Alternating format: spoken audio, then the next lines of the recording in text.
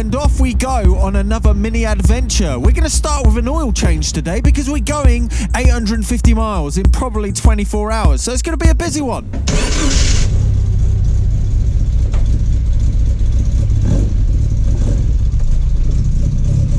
Yes, we are heading up north to go and pick up something up off eBay, straight up the A1, all the way up to Lancashire to Clitheroe. So what's the plan? Why am I going all the way over to Clitheroe? I'm about 110 miles off. I've done about 250, and the car's still going. Touch, touch wood. Anyway, let's have a chat about why we're going there. Well, I'm picking up another DIY magazine synthesizer from the 1970s. I've mentioned it in a few of the videos. I did. I mentioned it in the DigiSound 80 video, the Formant video. It is the Practical Electronics PE sound synthesizer. I found a decent example on it on eBay. It's a pickup only, hence why I'm going all the way. But uh, we'll have a look in more detail. But yeah, this is the sound synthesizer, and I think from the pictures, it's a good example. But it's going to be fresh from February 1973, adding a bit of damp and dust. And yeah, anyway, we've got to get going because I'm already an hour late. So it says on the sat nav we've got another 110 miles, and it's going to take two hours and 20 minutes.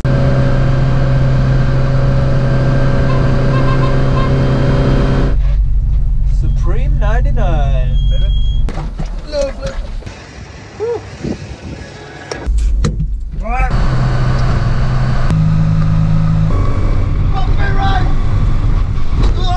Oh, what a lovely day. Oh, I've been driving for seven hours. I'm half an hour off. It's been about 350 miles. Oh, oh my bum is so numb. The car, touch wood, so far hasn't skipped a beat. Anyway, I'm half an hour off. I'll let you know how it goes. Uh, yeah, I'll see you in a bit. Could it be that Clitheroe is just around this roundabout? I think it might be.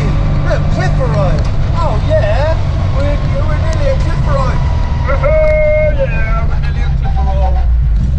I've made it, and what I am with Stephen Westell, and we're in his workshop. Uh, you made this, didn't you? This Yes, is the PE yes. When I was a young man of 20 years old, 20 years old. So what year would that be? 71 to 73, somewhere in the Yes. 70s, early 70s anyway, you know. I watched The Clockwork or- Orange. Um, there's music like Walter Carlos. Yeah, yeah. And I bought this, which is included, by the way. Oh, thank you very much. Um, look at the old oscilloscope Uh-huh, and the blah blah blah, the, the old timers, etc. Um, I bought that and I got hooked. Thought, yeah, I'm going to make one. Can't play a, a, a note in music. Can't play a note, but anyway, do block diagrams and it's all based on seven four one operational amplifiers. You'll know what they are, won't you, obviously. So it's all analog. There's no no digital chips in there. Underneath this homemade wooden bit, it's a proper Vero or Vero case. This is all my own work from when I was a young silly lad. The guy that um, used it on stage, a friend of mine, he's also Steve. He he must have drilled holes and done something. I don't know what he did. I haven't powered it up. Mm-hmm. Um, there's no reason why it shouldn't do things. Should we try and power it up now for going to. shits and giggles? Just see if it does something. Yeah. Some lights come on. Well, the PSU is in here, obviously. Envelope generator. It's a hell of a long time ago since I built this. Did you make the chassis yourself then? These are all... I made the, yeah, I did these, um, but the actual frame, um, I bought that. Cost me a fortune. Thank I didn't really have the money to pay for it, but I did. But anyway, every month it started in, let's just say January, for for example. I couldn't wait for February. I couldn't wait for March, April, May, June. And every time I got the magazine Yeah. from the local news agents, I proceeded to build it, you know, and uh, oh, it was oh, fantastic. You know, we've got something through a letterbox. I can do the uh, voltage controlled amplifier or whatever. Yeah, know. yeah. And uh, yeah, it was uh, it was great. There was no PCBs. It was all stripboard stuff. That's amazing. Um, I think I tidied it reasonably well. You have. To this, that, the other, you know. So you mentioned your friend, uh, Steve Lowton, Yeah. played this on stage. He did indeed. When was this around? Uh, the seventies. But what the two aluminium knobs? I don't know what they are. We have the keyboard in the back. Managed to wrestle it behind this silly thing. Here we go. Where are we going to pop this? Might it might fit down here. Right, I'm going to try and get this. Plop these down in this footwell. Yes, I made it, and as you can see, it is all in the back. Stephen was a lovely fella, and it was awesome to actually meet the maker. Sometimes the owners that you get these DIY synthesizers from aren't actually the makers. But yeah, Stephen, exactly when the Practical Electronics um, subscription was coming out, was building this month by month. He mentioned that he was so into it that he went to London, I think with his mum, uh, to uh, watch a presentation by the designer of this about the Practical Electronics PE synthesizer. So this is a really good example of it and we're going to drive home now. Right then, we, we best get home then. Oh, off we go, off we go, off we go. That was a lovely experience, I've got to be honest. That was really a really good time and a really good day. It's not over yet. Going to get ourselves home. Not another diversion. This diversion wasn't on the list.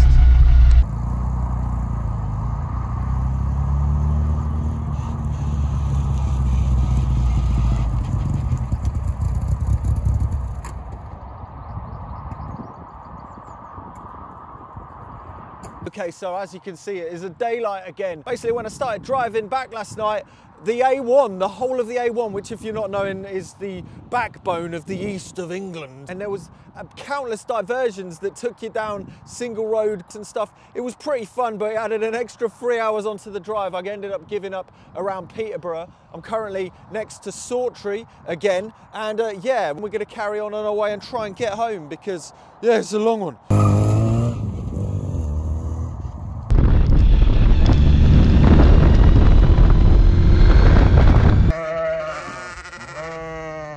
I just stopped for some lunch and I've got some uh, got some friends with me. Oh man, nice and mess. One thing's for sure, the uh, the sheep certainly like it. Got it home, we can take a closer look. So I took the top off to see what was going on with the Vero case and things like that. And then also remove all of the bits and bobs and just, you know, have a good old look around and see what was going on. Uh, they all came out quite nicely and they looked like they were in very good condition actually. This is the power supply. I started by taking the capacitors off and checking them. They seemed all right for now, so I just kept them as they were, checked the voltages, and then we went on to the first module, which is the voltage controlled oscillator. We cleaned the potentiometers, well tried to clean them anyway, and we put them in to see if it did anything. Oh, something. Okay, it's starting to make sense. We've got the triangle wave. And we've got the square wave. Oh!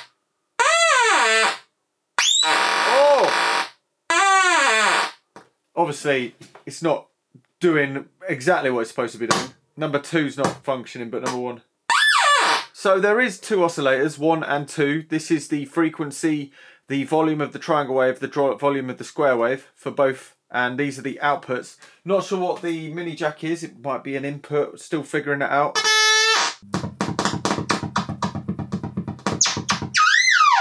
This is the cutout folder that Stephen included with it. Unfortunately, the full schematic isn't here, and it's not clear what exactly the variable resistors do here, which we need to adjust to make it sort of work. So let's go and try and find the April 1973 issue of Practical Electronics. It's got to be in here somewhere. March 1965, that's a little bit early, but pretty funky. April 1973, that's what we need. So I sat down and gave it a good read, had a look at the schematic to see what was going on with the oscillators, and it turns out that the backboard was the buffers for the input and the power supply, and then these two boards on the front, they were both exactly the same for both oscillators. Let's first take it apart. The first thing we're going to do is temporarily solder these three wires that's coming from an external power supply so we don't have to constantly put in and out of the circuit the plus 15 volts, the ground and the minus 15 volts are up on the top right here.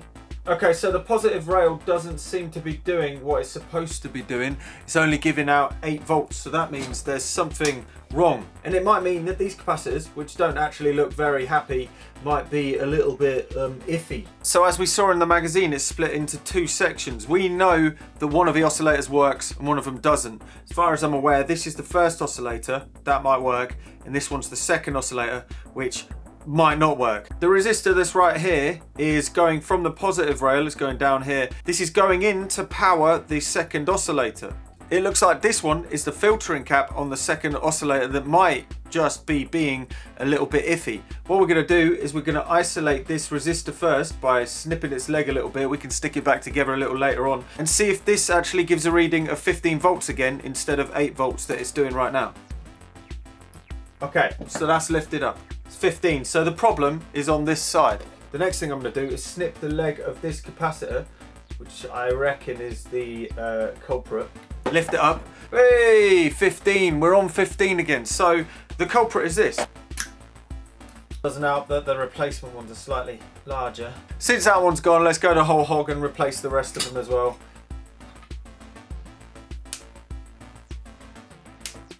Oh yeah, look at that. Right, with any luck, when we turn it back on, it doesn't blow up. Oh, that's good. Let's measure, so this should be minus 15-ish.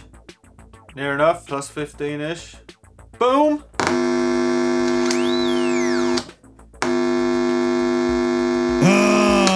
Was good to change those capacitors because that problem would have affected the rest of the modules. Anyway, I still wasn't able to get the other oscillator working, but let's give that a break and have a look at the magazine synthesizer series as a whole. This journey starts in February 1973 as it is on the front cover of Practical Electronics. This is the introduction to get you all revved up and ready to go with the idea of building your own synthesizer. Oh, and there's a biological amplifier. I reckon that could become an instrument at some point anyway. In this issue of the magazine, there is no building. It just lets you outline that you might want to build this synthesizer when it comes in the next month. And there is also pictures of Jeff's prototype designs and also an outline of what's going on. But we're going to jump over to March where we start looking at the actual case and the power supply. The case is made by Vero and you could have ordered it by post and then put it together with the instructions in the magazine. This is what it would have looked like at the time. And there's also McMurdo connectors on the back. And there's a schematic of the power supply which is made to sit in the back of the module right here. As you can see, there's some big caps and a transformer. In April, it really starts beginning when you build your first module. This is a dual voltage controlled oscillator. It's the thing that makes the buzz do do. And in this is a description saying, due to simplicity, they are linear oscillators, but there is space in the strip board to actually modify them to make them more musically useful. And we'll be looking at that later in the video. Oh, look how lovely that is. Anyway, we jump over to May 1973. This is when we build our second module. It is called the ramp generators, and these are low frequency oscillators. They're the things that modulate the bits and bobs that go on in the synthesizer, including making the oscillator go woo woo. There's also a synthesizer programming sheet. Anyway, we've built that. Let's plop that in. Looking lovely, and now we can jump over to June where we get a little bit experimental with the sample and hold and noise generator. This thing will give this the ability to make pseudo random sequences and reasonably musical fingermajiggies. There's the schematic right there for the noise and the sample and hold. Stephen would have followed this image to put it together and plop it in to make it look just like that. Very nice. But hold your horses, it's July now and it's time to make the tone control. This is less of a filter and more of an EQ style thing that you would have seen in a mixing desk. And it's not like many other filters in other synthesizers. And there is also information on how to wire this up and record it if you really want using tape machines. Ooh. Now it's time to add a little bit of room around the synth by adding the reverberation module, which also has a ring modulator built into it. This is the output of the synthesizer, and as you can see, it's quite a complex build. This and the VCO are definitely the most ones to pop together. In September 1973, Stephen would have been putting together the envelope shaper module. This is the attack, decay, and sustain module. It works in a different way to other ones, and you can also make an audio logic probe for all your audio logic probing needs. Oh, look at that, it's nearly done. All lovely jubbly. In October, Stephen would have been introduced to the dual voltage controlled amplifier module that he would have had to put together with the instructions that are in front of us right now. By this module, you would have been well versed in putting these things together, and as you can see, it's looking lovely. There is also the rear wiring for all of the internal connections in the synthesizer at the bottom of that page there. Anyway, let's plonk it in. As you can see, that's all of the modules in the box. Look at that. There, oh, it's lovely, lovely. Lovely, lovely, jubbly, lovely, jubbly. Ooh, very nice. But this project didn't actually stop there. There is a keyboard controller module that also has oscillators inside of it that are a much more musical type of oscillator than the one in the modular. This is the thing that's going to really make it musical because without this, it's a bit of a weird sound generator that makes spacey sounds. But we'll be having a look at the keyboard later. Oh oh dear. And I came to the conclusion I needed to read about it more, and we'll be covering that in another video. What is this? Oh my giddy aunts. Is that fit there? Does that go on there? That's- Oh no.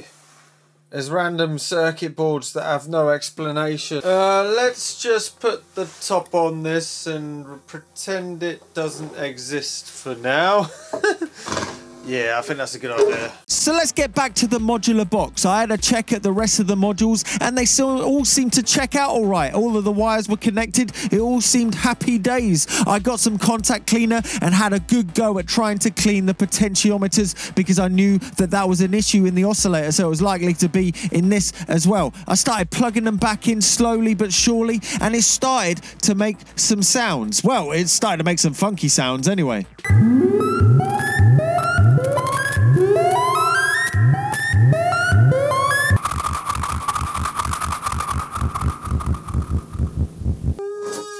As you can hear, those potentiometers, I did spend an ages on cleaning them, but they were so crackly. Just gonna just gonna take the back off one of them.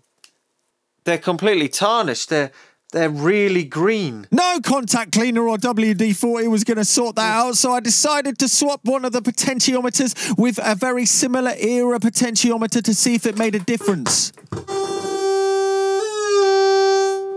Oh wow. Was magical. The difference was humongous. So I actually ended up changing nearly 50% of the potentiometers. It took a day, but it was definitely worth it. Oh yes. This is definitely the way to go.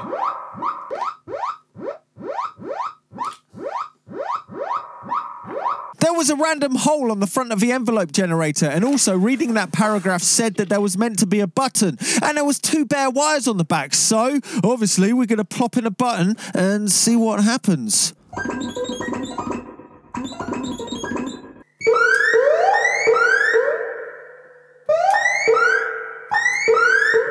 That worked out, didn't it? Anyway, it's time to have a look again at the oscillator, the second oscillator that wasn't working, and really try and kind of fix it. The first thing I did was replace all the potentiometers again, uh, just to make sure that it definitely wasn't the potentiometers causing the problem. Then, after a bit more fiddling around, I found it was this capacitor in the integrator part of the oscillator that wasn't working. So I got these capacitors and swapped it out, and now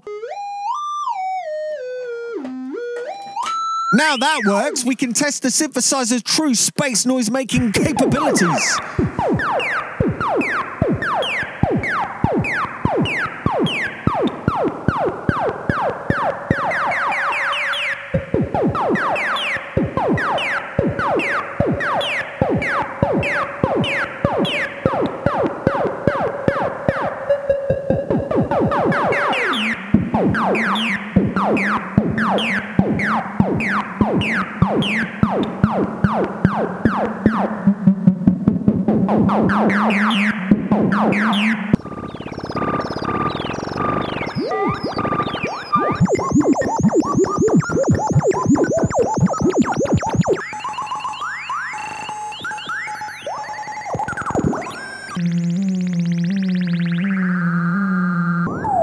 capabilities.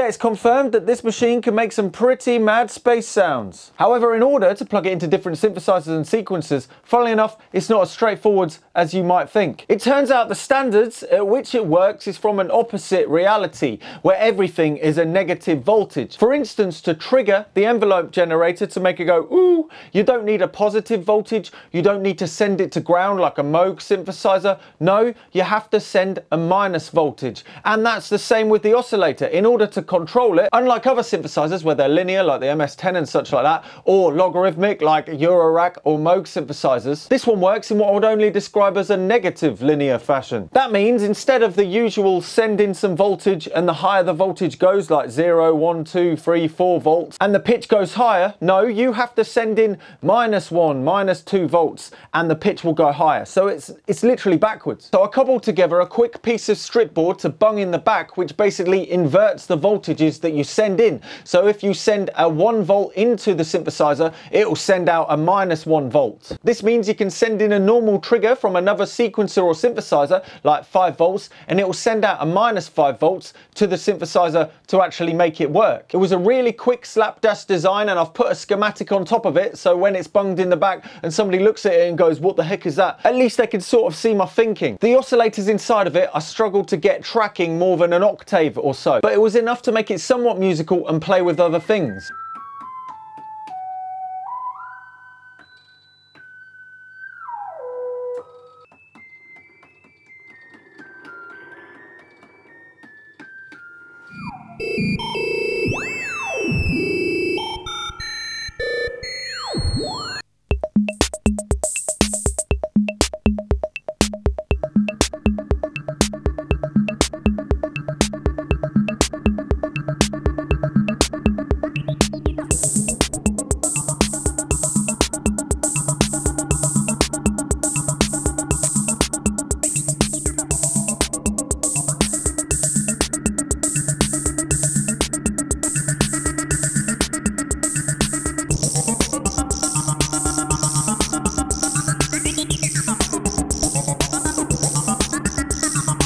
Another thing to bear in mind is this was 1973. The DIY synthesizers of this ilk were in their relative infancy. There were a few other projects around like Tim Orr's one in the Practical Wireless magazine, but it seems as a PE synthesizer project was being rolled out, builders and readers of Practical Electronics were sending in their thoughts via post, which meant that Jeff Shaw, the designer, updated the project as it went along. For instance, if we read this paragraph from the November 1973 issue about the introduction of the keyboard, when the sound synthesizer was originally presented for publication, it was the intention that it should be classed as a general purpose instrument, which could be exploited in the widest possible number of ways, and yet retain a basic simplicity of design and ease of construction. During the course of the series, however, many readers have commented that the musical capabilities of the instrument have been severely restricted by the lack of logarithmic VCOs. Ooh. And thus the oscillator to be described in this article has has been included in the keyboard unit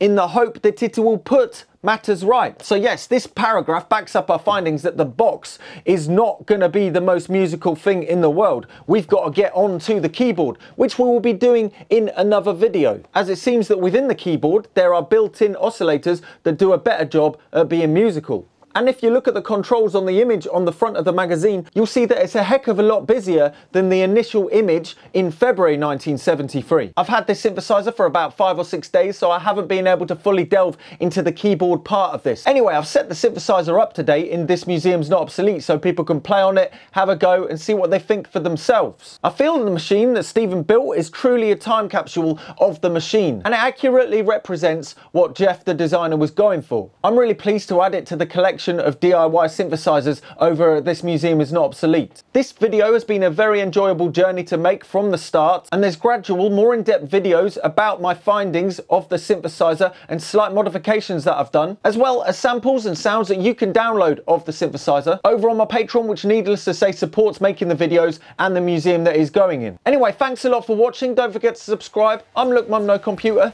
that was the Practical Electronics PE synthesizer and remember don't be scared to try it. Well, maybe, maybe don't try and fix this one.